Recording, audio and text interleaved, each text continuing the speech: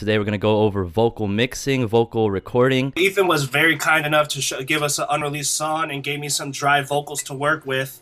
Um, uh, this is kind of the sample. Till I came back on my Johnny, your body, she body, ripping up like a Ducati.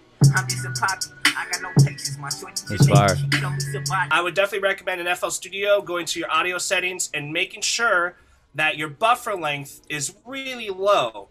Definitely recommend between five to eight on FL Studio for a really good low buffer size, enough to record vocals so there's no latency. And if it's still giving you latency, you gotta go lower. And if if you're going lower and stuff is clicking and everything, things are breaking, that's when you know you got to start freezing some plugins, you got to start freezing some audio. If I was starting from right here and I wanted to record a vocal chain, basically what I would do is I would go pick in any insert I like. Say I like my first insert, and over here I would put one of my mics. So on my interface, I have two mic inputs that are for uh, two mic pre's. Excuse me, two two mic pre's that are 48 volts. I'm gonna I can use either choose either one or two. The second one I use because it's my vocal mic. So just for this example, I'm gonna do mic line two, right? It's just um uh, just to let me see here. There you go. Now y'all can see the whole mixer screen like that. There we go. So I like to put in my input, making sure that I'm getting signal, yada yada. Okay. Um, for this one, I'm not gonna really show this. I'm just gonna show you guys what I will put as a tracking chain. Um, first thing I would do is definitely give it some dynamics. Okay. So what I'm gonna do is I'm going to do compression first. Now, um, um, there is speculations of doing EQ before compression, compression before EQ. Um, certain things for certain vibes. Like um, I'm very about making sure that in the moment the singer can give the best performance they can, so I can get the best take possible to manipulate. So for me, the compression is really what gives the artist that extra like um, sustain or performance in their vocal in order to really shine and really deliver their lyrics. Okay. So for here, I'm just going to use a basic fruity compressor. Okay. And check this out. This is where I would set my settings. Usually at the studio, I have a Tube Tech CL1B. You guys can look that up. Um, and yeah, every all the engineers should definitely know what I'm talking about. It's the sauce. OP. Uh, but for here, I would show you guys the exact settings, what I would do, but FL version. So basically, I would usually put the, for the, um, I'm sorry, for the Tube Tech, it starts at a two to one. I would, I usually like a good three to four to one. That's pretty good for me for vocals. And then my threshold, I would play around with this. This is where you're gonna get um uh, some of like your taming and where the taming of the vocal will happen. So usually I like anywhere between 15, negative 15 to negative 12 dB of compression. Now these are just starting points, guys. Just remember these are all starting points. This is not like what the final vocal thing would be. I would put this on, then get some mic levels in order to test, and then play around the compression, see which kind of flavor I like. You know what I'm saying? Um, with the attack for rapping, um, you definitely want a very short attack. I would definitely recommend 50 milliseconds, if not zero. I mean, it, it- if not zero, it's a great starting point. But usually, I like to give a little bit of attack. Uh, for singers, you definitely want more of an attack. So you want to do like maybe around 300 milliseconds or 250 for a singer, someone R&B, or maybe someone who's doing like kind of like a Drake kind of vibe. But this guy, he's more rapping, he's spinning bars, so we're gonna get him at 50 milliseconds of attack around there. And for the release, around the same. For a Tube Tech, this is usually what it is. I usually have um, um, this attack usually around like the one or two o'clock, or I mean, yeah, the one or two o'clock, and then usually the release I will have more around like the more around like the three or three, four, or four o'clock era. And just so you guys know, I'm I'm thinking of this as a clock. So you know, 12, 1, 2, 3 o'clock, 6 o'clock, 9 o'clock. Um, it's just easier for that when you're engineering and you can just think of a clock instead of having to think about milliseconds of compression. It's just too much to think about. I just think of a clock. And then for this type of compression, I like the vintage compression flavor on FL. I like the vintage one. It sounds really good to me, but you know, the soft compression is really nice just for some dialogue. And here, your gain is your makeup gain is where you're going to be getting your volume. So right here is where I would start about negative 12 dB of threshold with a four to one ratio.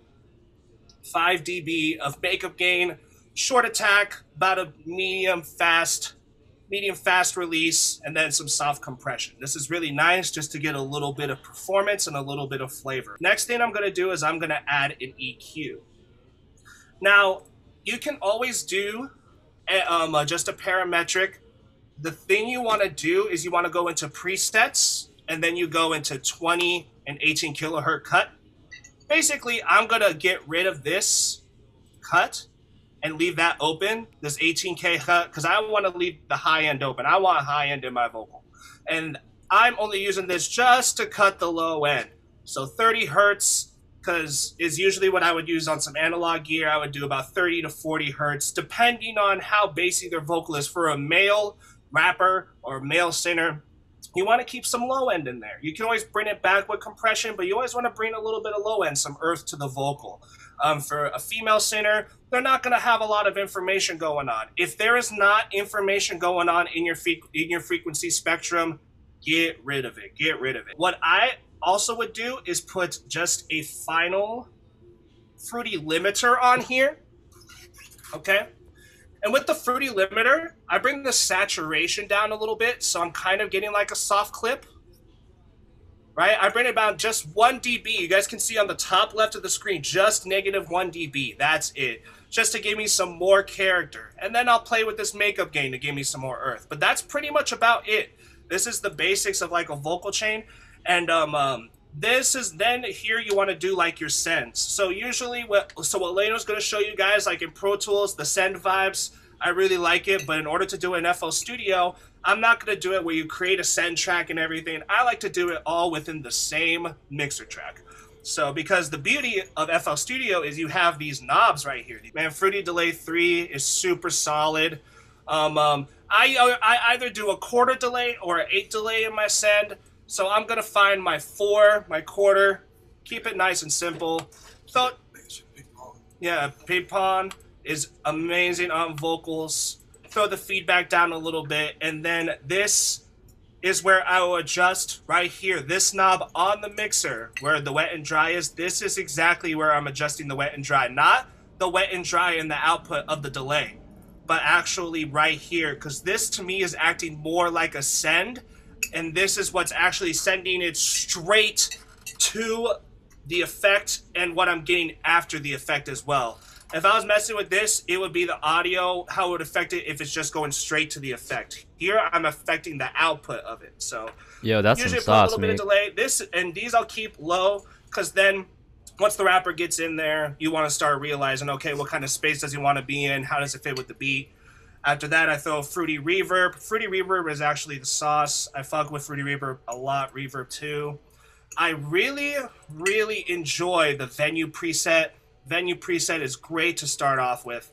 Um, a little bit of stereo separation, like 30%, is going to give that reverb just that extra little bit of space. And the only thing you want to be playing around in this reverb is you take down the bass, bring up the damp a little bit. This is how muddy or kind of like like hitting you want your reverb to be. If you want your reverb to be more shiny, you take the damp off. If you want your reverb to be a little more cloudy, a little more foggy, you bring up the damp a little bit, right? And then the and then the decay time. It makes a difference in the way your reverb sits in the mix. It makes a difference in the way the reverb sits overall in your track yeah, that's pretty much my breakdown of just how I would track vocals, okay? So I'm to save this chain for you guys. We'll keep it up. But for right now, I'm to show you guys how we mix the vocal that we got right now as if you were a mixer and you got this as a job and your job was to mix these vocals and mix this track. This is exactly how I'd approach it. So, so in FL Studio, I'm going to take all of my audio highlight it all. And then if you go to the mixer, you can go Shift Command L, and it routes all of the audio to the mixer. No problem, ready to go. So now you can kind of start balancing, doing your mix. Maybe you like to throw a little soft clipper. Let's just do it for all the boys out there. You know what I'm saying? I like to keep my soft clipper with a higher threshold so it has more dynamics. So here we're focusing on vocals specifically. I'm just a pop I got no patience. My shorty Jamaican, she tell me somebody.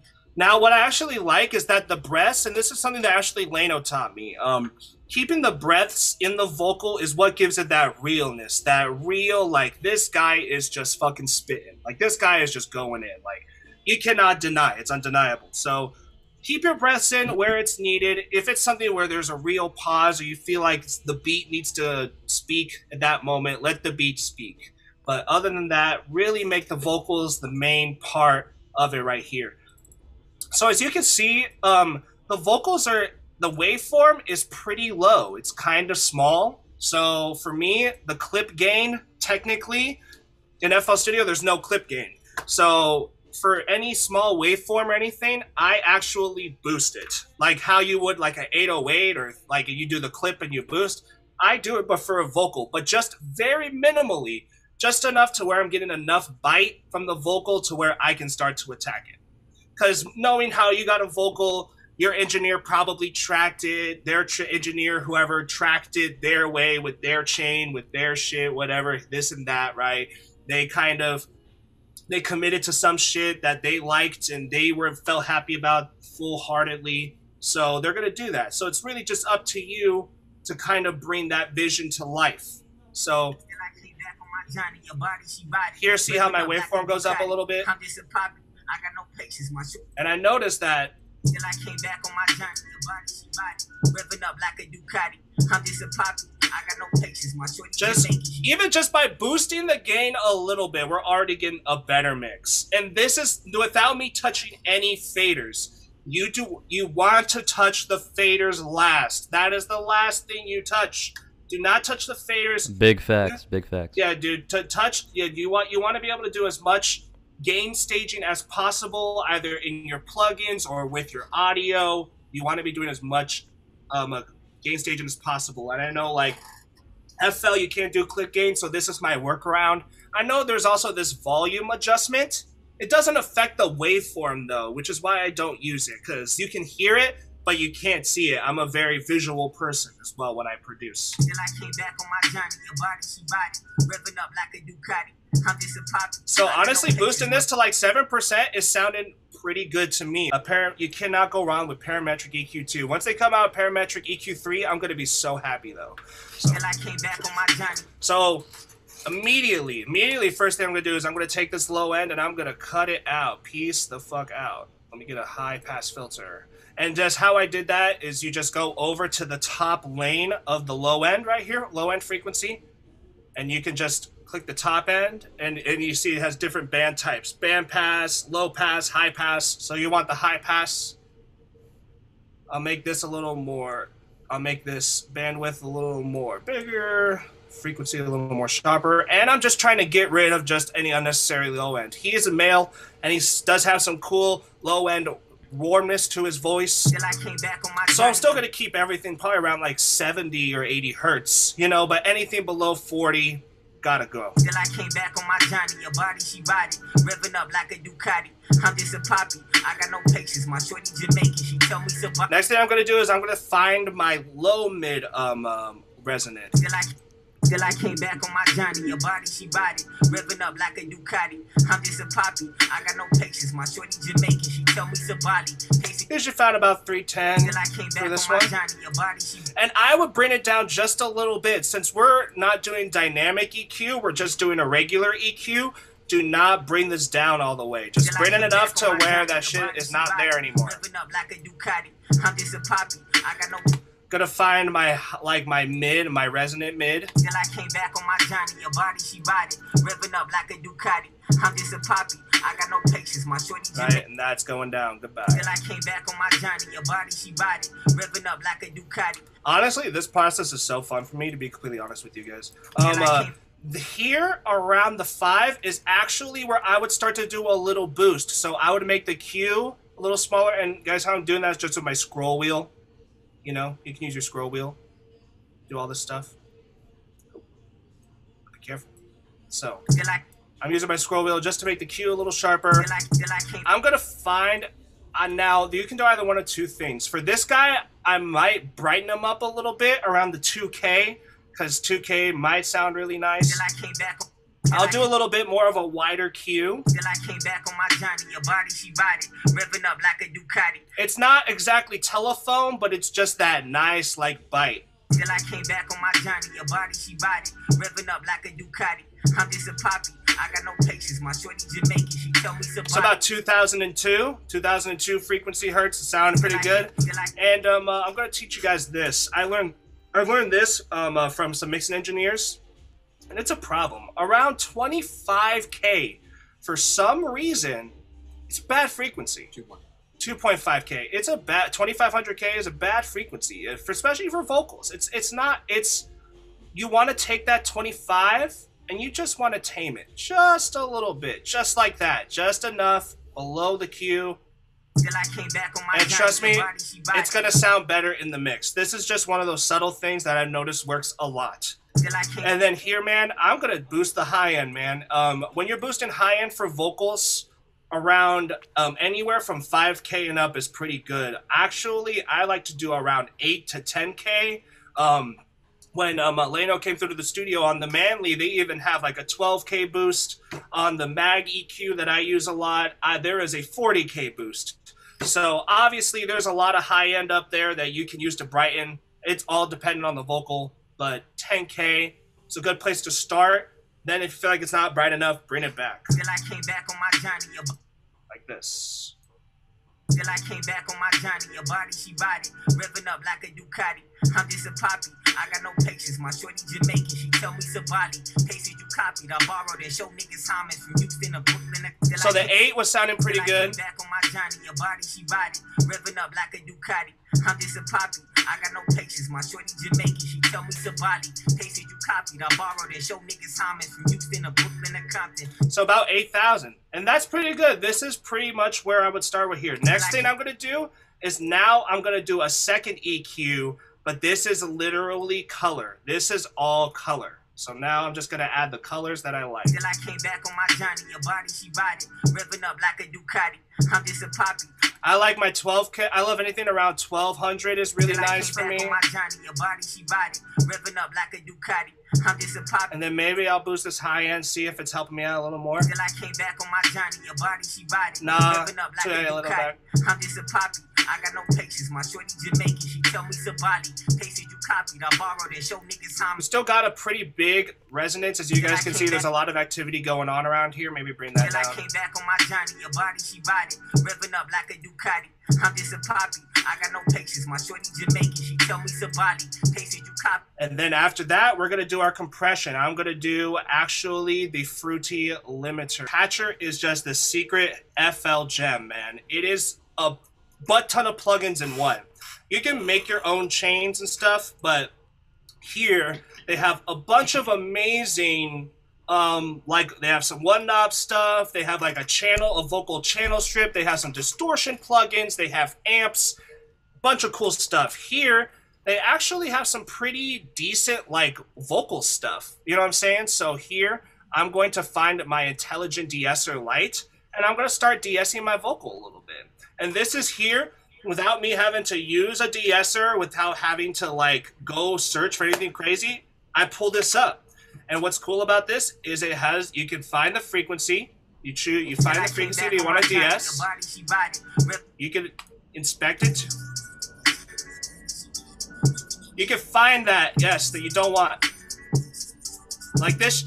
Ow! You know? Like this shit is big. You can turn the sensitivity up. I'm just a poppy. I got no patience. My shorty Jamaican, she tell me Sabali. Pasted you copied. I borrowed and show niggas Thomas from Houston to Brooklyn to Compton. So as you can see, it made a very drastic difference. I would definitely play with the sensitivity around to find the flavor that you like, but for F for DS and an FL, honestly, this is the way to go. Um, other than that, uh, Maximus has a good de-esser preset, but this is just really solid. And if you really want to know how it works, you can check out the map. But can you do this? I can't do this yet. You know what I'm saying? I'm we're we're I, I don't even know where to start with this thing, man. But this is what the this is what it is. So Till I came back on my so now that we got our DSC, now we're gonna get some compression and let's get that compression and let's see um, how a compressor sounds just kind of on its itself. Till I came Till I came back on my. So what I was doing last time, we were doing a four to one. So maybe let's do a four to one. Till I came back on my Johnny, your body. she Really bring down. Let's let's compress this. Let's really compress this and see what it's gonna sound like. Bring down that twenty. Give him a Till nice back on my amount of journey, your body, she body, ripping up like a Ducati.